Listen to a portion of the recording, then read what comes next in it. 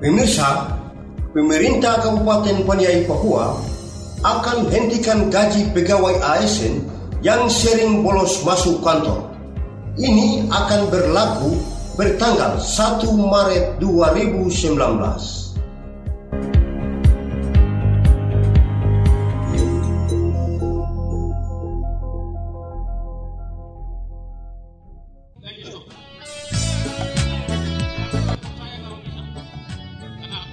Hal ini disampaikan Bupati Paniai Meki Nawipa saat apel gabungan bersama aparatur sipil negara ASN dan TNI Polri di halaman kantor Bupati Paniai pada Senin 18 Februari 2019.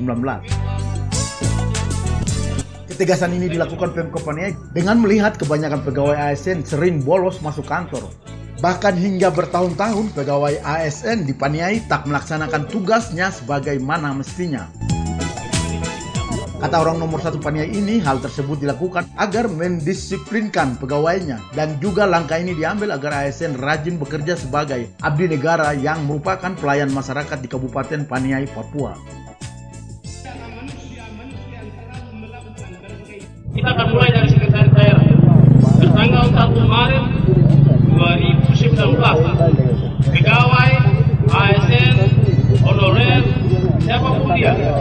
yang tidak masuk kantor 10 hari gaji stop.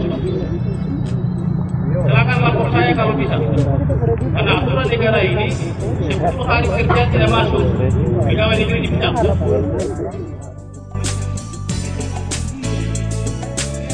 Bekas pilot pesawat berbadan kecil ini memberikan apresiasi dan berterima kasih kepada ASN, Paniai, dan TNI Polri yang mana telah aktif melaksanakan tugas di daerah yang dipimpinnya ini.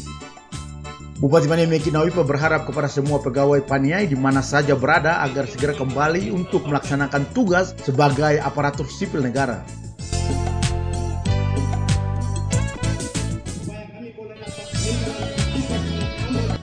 Disinggung hal lain dalam menertibkan pegawai ASN Paniai agar terwujudnya pemerintahan yang baik, dirinya telah menghentikan gaji bagi 200 lebih pegawai pensiun yang selama ini masih terima gaji normal agar dapat urus pensiunan. Dan juga langkah lain diambil yakni merekrut ulang honorer. Seperti pegawai negeri sipil, saya sudah konsisten kemarin uh, apa namanya 257 pensiunan yang diganti sudah stop gaji.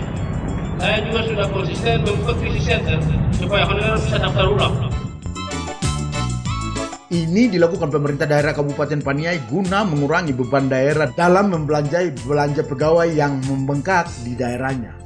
Dari Madi, Tim Liputan, Humas Sedda Paniai.